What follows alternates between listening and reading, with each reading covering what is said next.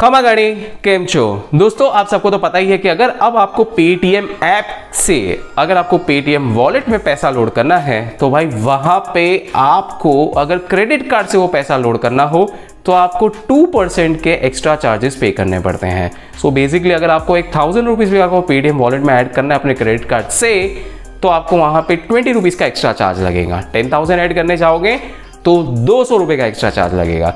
तो भाई ये टू परसेंट ज़्यादा हो जाता है राइट तो अगर मैं आपको इस वीडियो में ये तरीका बता दूँ कि कैसे आप पेटीएम वॉलेट में पैसा क्रेडिट कार्ड के थ्रू लोड भी कर सकते हो और आपको कोई एक्स्ट्रा चार्ज भी नहीं देना पड़ेगा। तो कैसा रहेगा दोस्तों? तो आज मैं आपको यही तो बताने वाला हूँ यार। तो दोस्तों, आगे चलते हैं मेरे सीधे मोबाइल फ़ोन की स्क्रीन पे एंड आपको इसकी जो भी ये सारे तरीके हैं बता देता हूँ। ठीक है? तब तक आप सिर्फ़ इतना कीजिए कि आप सबसे पहले मेरे इस चैनल को कर दीजिए सब्सक्राइब इस वीडियो को लाइक ज़रूर कीजिएगा एंड बेल नोटिफिकेशन आइकन को भी दबा दीजिए। चलिए शुरू करते हैं।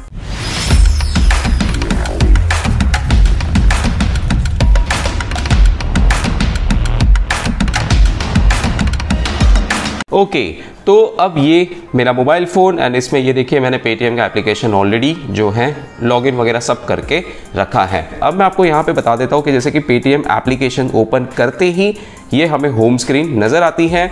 अब यहाँ पे आप देख सकते हो पेटीएम वॉलेट में ऐड मनी मैं आपको सबसे पहले ये तो बता दूँ कि ये चार्जेस वाला जो सेक्शन है, ये दिखता कैसा है? ठीक है, वो पॉपअप कैसा दिखता है?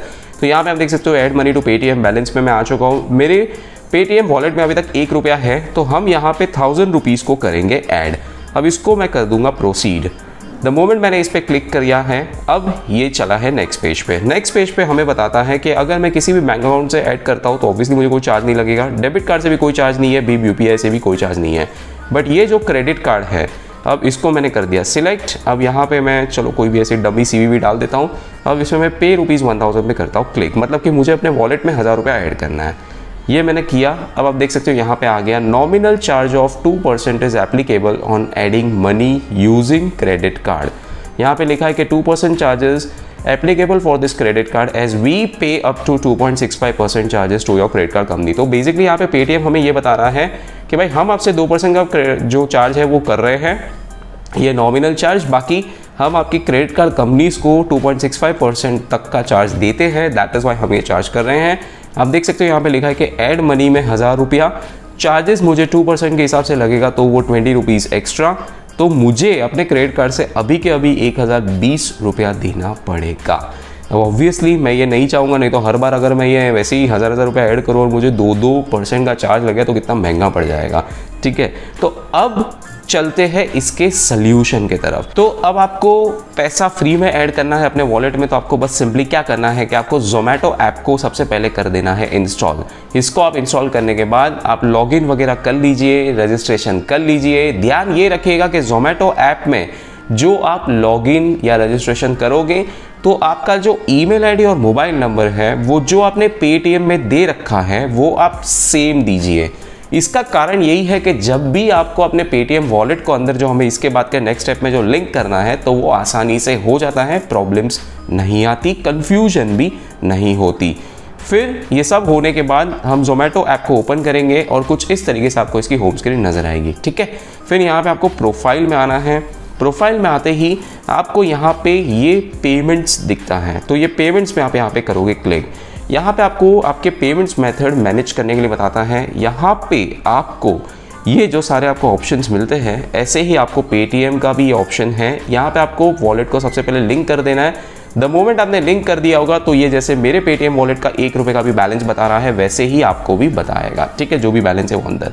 अब इसके बाद हमें यहीं से करना है पेटीएम वॉलेट को रिचार्ज यहाँ पे देखिए हमें रिचार्ज वॉलेट का ऑप्शन आता है। ये फ़र्स्ट ऑप्शन पे हम करेंगे क्लिक हम इस पर क्लिक करने के बाद अगर मैं यहाँ से चाहता हूँ कि मुझे हज़ार रुपये ऐड करने हैं तो बस कुछ इस तरीके से मैंने ये किया, लिख दिया।